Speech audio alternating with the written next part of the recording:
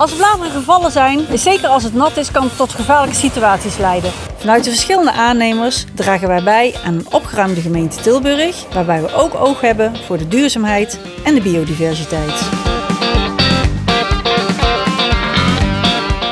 Blad kan zeker als het nat is leiden tot gevaarlijke situaties. Daarom ruimen wij het blad op op de verharding. Denk aan de voetpaden, de fietspaden en de doorgaande wegen om te zorgen dat iedereen veilig zijn weg kan vervolgen. Maar wist jij dat blad ook heel goed is voor de natuur? Met name voor de biodiversiteit. De stoepen, daar vallen de bladeren op. Bladeren worden nat, worden gevaarlijk, valgevaar. Vandaar dat wij deze opruimen.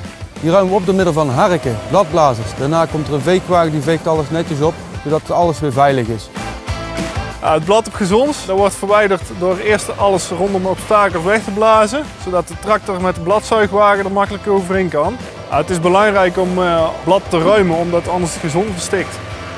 De bladeren die wij ophalen, die gaan naar een erkend verwerkingsbedrijf. Die maken daar compost van.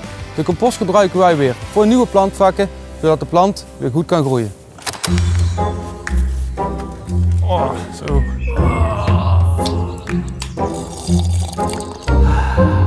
Nu vraag je je natuurlijk af, wanneer laten we bladeren dan wel liggen? Nou, dat doen we als het blad bijvoorbeeld in de plantvakken terecht is gekomen.